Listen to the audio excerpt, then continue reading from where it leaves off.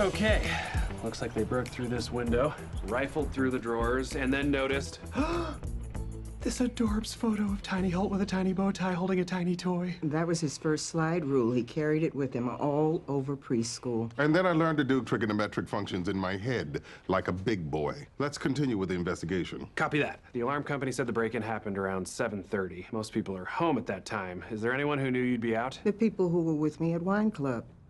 Oh my, I just remembered Carol Spitzheim's house was broken into several months ago, also during Wine Club. Interesting. The odds of that happening coincidentally are vanishingly small. I would say infinitesimally. Yes, and I would say teenily weenily. We all know words. So, sounds like we should go undercover to the next wine club meeting and scope it out. You think you can get us in? I think I can arrange that. There's one tonight. Great. Final question. Is this little Raymond's macaroni art? No, that's a macaroni infographic he made about educational spending during the Johnson administration. Ah, Of course it is. I love it. Detective Peralta, can I speak to you in my childhood bedroom? Oh my god, yes. Wait. This isn't your bedroom. No, it's a regular room. You tricked me.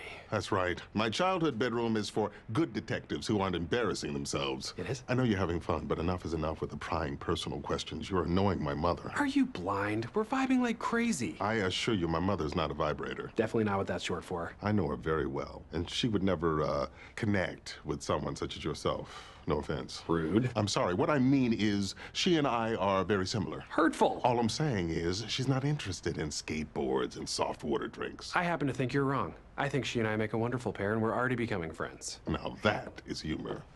Is everything all right? Yes, we're all done in here, Your Honor. Your Honor, don't be so formal. Call me Laverne. Oh. Okay, Laverne. You got it, Laverne. Laverne.